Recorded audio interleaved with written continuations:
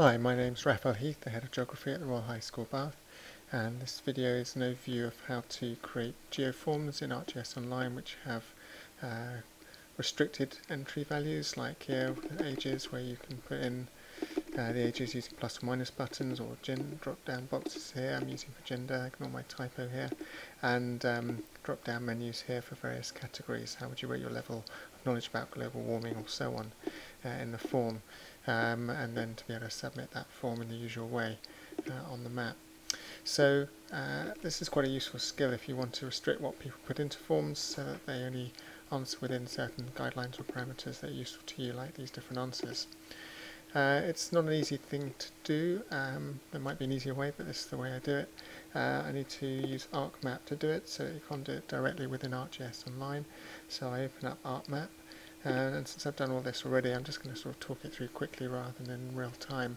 Um, so the first thing you do uh, when you open ArcMap here would be blank uh, is you go to Arc Catalog which is just up here, open it up, it gives you your file menu structure and you find uh, a folder which you want to create this um, feature service uh, shapefile in and so on.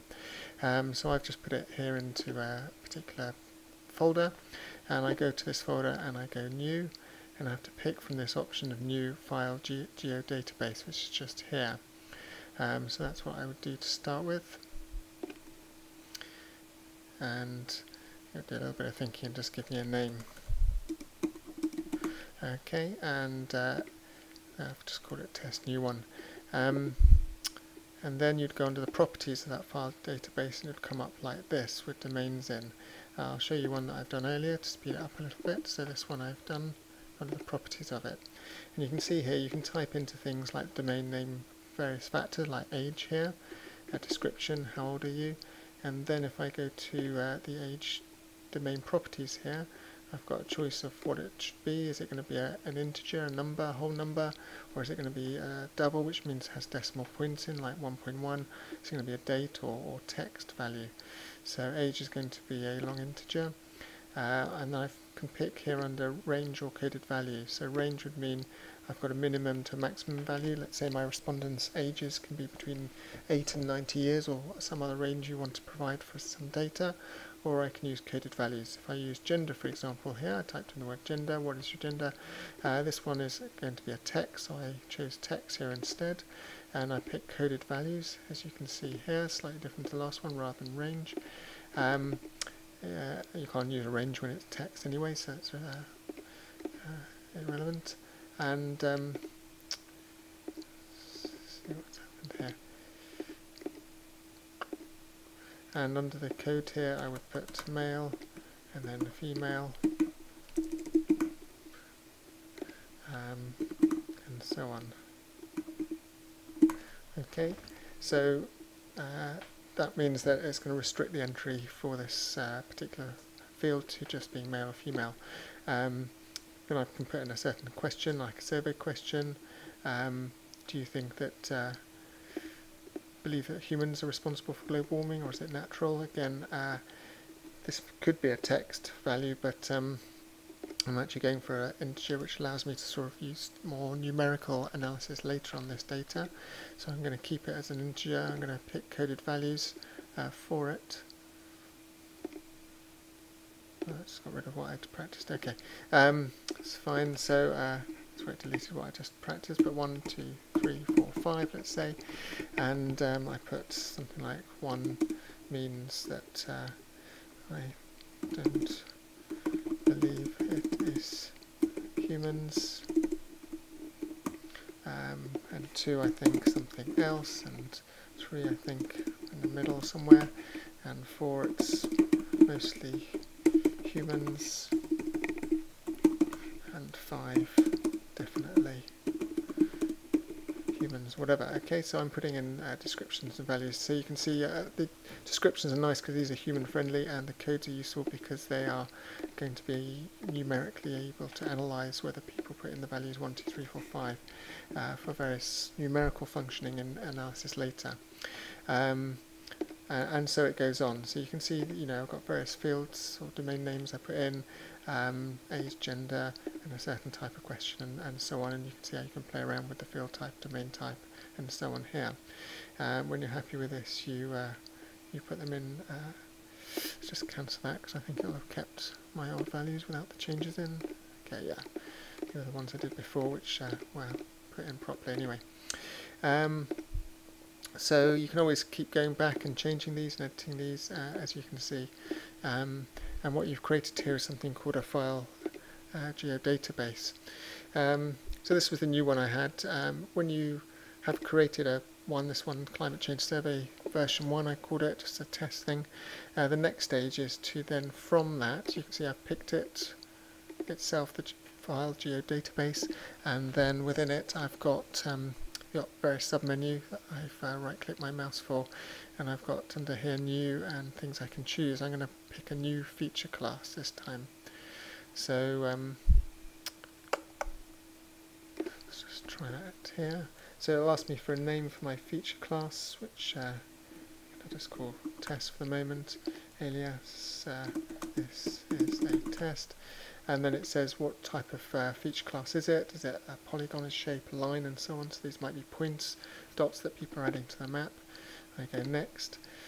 Um, I need to pick a coordinate system, so to use it in ArcGIS Online, I believe the right one to pick under geographic coordinate systems here is uh, to go under world, and then at the bottom here to pick WGS 1984. Um, if uh, you know more about it than me, then there are other options you might be picking for other reasons, but this is uh, what I picked in order to use it in ArcGIS Online.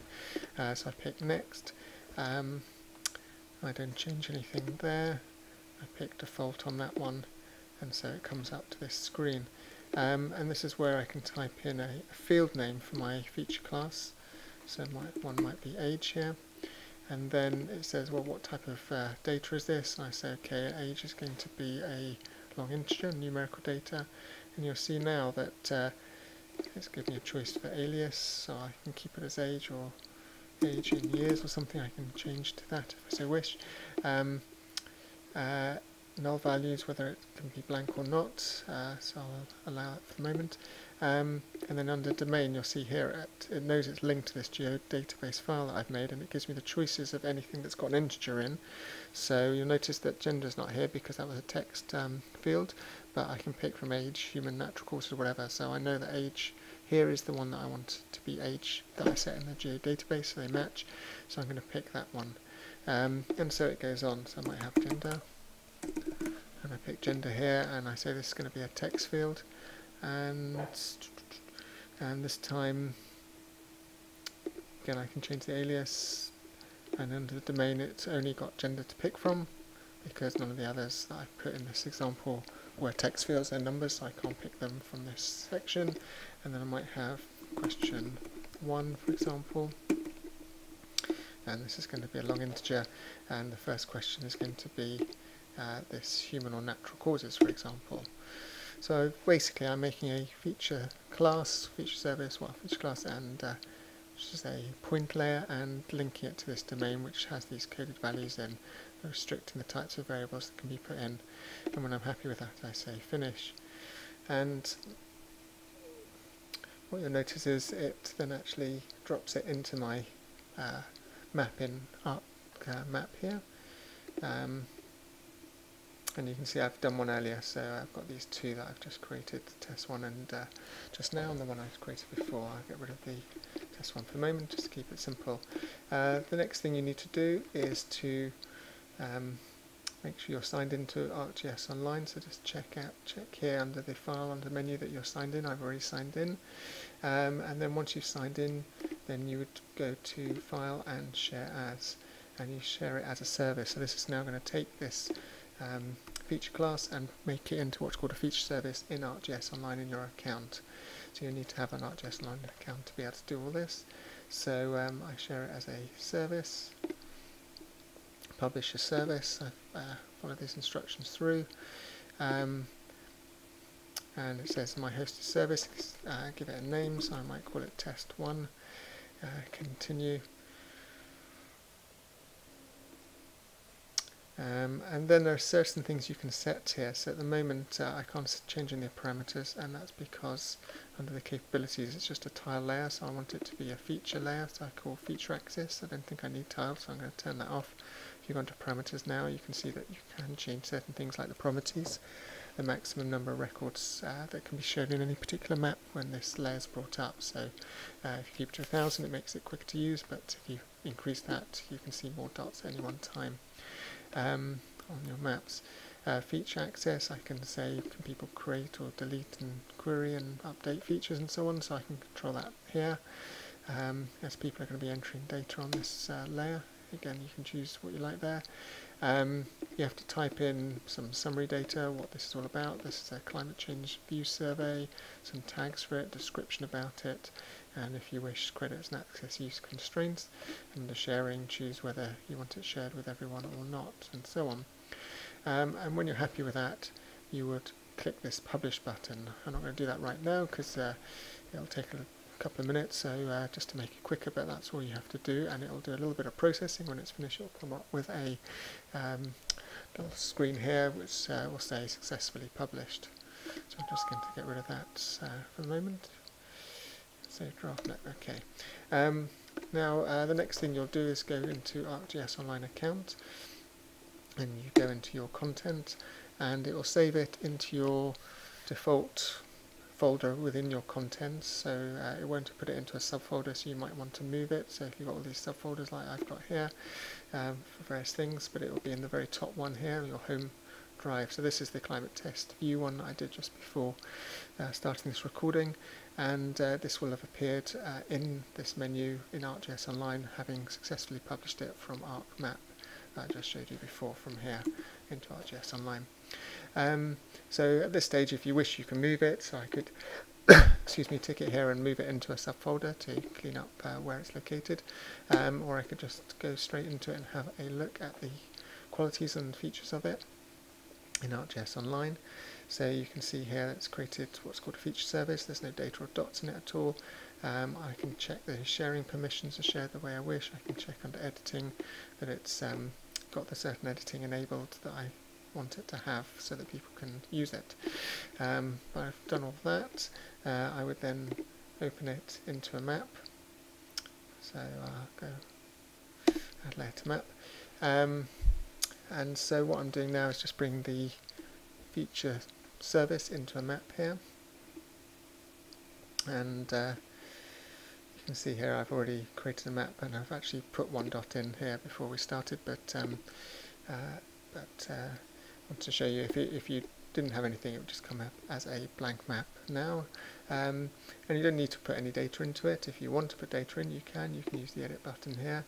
Uh, you can put a dot in to a map and you'll notice that you've got you know, drop down menus here, uh, gender, male, female to choose from. You've got uh, a drop down menu here and so on with those variables that you put in. So, uh, so that's how you can put data in directly into the map. But if you want to create a geoform, which is what I was saying I wanted to show you how to do, um, then you need to make sure that you've saved the map. So I've saved it as uh, climate change test views. I've already saved this map, so I don't think save it again. Uh, I'll go through the process. Okay, uh, save. Uh, test climate. Uh, test summary. Test for geoform. Form. Sorry, I'm going to type too fast, and I'll just put it in my test folder so I can get rid of it and it doesn't clutter up anything else. Okay, so I've just uh, created a new map here. Uh, I'm going to share it as I wish and uh, what I want to do is create a web app uh, using the geoform so I'm going to go into collect edit data and I've got various choices here and the geoform is the one I want so I'm going to create the app here and I'm going to call it test geoform for climate uh, test to delete. Geo. Form. And again I'll just put it into my test folder. Here. Okay. Uh, just to show you the process of creating this uh, geoform from scratch with this particular qualities in, having moved it through from ArcGIS, from, uh, from ArcMap, uh, with the various constraints in the feature class, and bring it down to ArcGIS Online. it's creating a map with it, and then creating a geoform. So it says get started, I'm going to start. It says the web map do I want to use, test climate, that's fine. Um, the layers I've got in there, all the layers, well, I've only got one layer in there, so that's fine, doesn't matter. Uh, I can give it a title, uh, and description about the form of what people should do to fill it in. So this is a uh, test form, but uh, obviously you type in whatever you need for the form there. Um, so this is the good bit, this is where I get into the form fields that I want to include, so it's recognised that I've got age, I can give it a different label if I want, such as age in years whatever, um, and under configure you'll see that um, I've got some help text if I want, and it's under what's called a touch spinner. I haven't got any choice on that because uh, there's a large number of numbers to choose between. Um, gender, if you look here, don't need to change the label for that. Um, and uh, again, if I go into help menu, I've got uh, select menu or radio button. So radio buttons just gives two dots there, so I can choose male, or female. Um, under knowledge of global warming, you can see that again I might go for a filter menu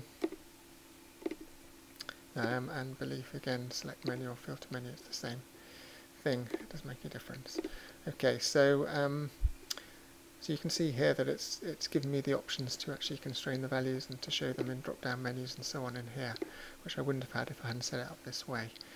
Um, you can change other things play around with it but um, let's go to the next thing. I can choose how the uh, how the layout and look of the form is. And uh, a little bit about the view. I'm going to skip through that for the moment and various options to do with um, how the map looks and what the pins look like when they're dropped onto the map and so on. Let's pick a yellow one just to show it's different and go to preview. So let's have a look what this uh, form is going to look like now compared to a normal geoform without these constraints in. So it's got the name, test form, test climate and so on and this time you can see the age in years is constrained uh, in its entry from um, using the plus or minus scales. I can pick male or female in, uh, in boxes there, in radio boxes, as I say, ignore my typo from earlier. Um, global warming is in a sort of drop-down menu box, and the belief about global warming uh, is a drop-down menu box there. So it's very different to normal geoform. It constrains what data goes in. Quite a useful thing to be able to do sometimes. Uh, location is as normal. I'll just put a, a dot here and, uh, and so on, submit entry. So that's how it will look at the, at the ends. And next, save and exit. So I've created my geoform uh, and uh, it will be saved in the account and I can make sure that the geoform is saved and shared as I want it so that people can enter data into it and if I open it, the application here, then you'll see that geoform has these various uh, constraints in just like we saw in the preview uh, version here of how to enter data into it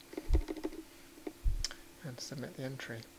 Um, so that's uh, an overview of how to create uh, restricted sort of coded domains they're called, coded entry for geoforms, quite useful. Bit of a process, not for uh, the average user perhaps, um, but uh, something that's quite useful to know if you've got ArcMap and uh, then you can uh, make that link from creating the file geodatabase that I showed you here and then the feature class um, in ArcMap and then sending that out to ArcGIS Online as a feature service and then it'll have those various constraints and values in that you can use uh, in geoforms as well to constrain the entry of the various values in that. So quite a useful um, workflow there hopefully for people working through that. It took me a while to work it out myself. Um, a bit of help from Esri UK support on that which I appreciate um, and puzzling out myself a little bit as well to try and work out the various steps to make it all work properly. Um, my name is Raphael Heath, Head of Geography at the Royal High School Bath. I Hope you find that uh, a useful overview of how to uh, apply this particular skill in ArcGIS Online.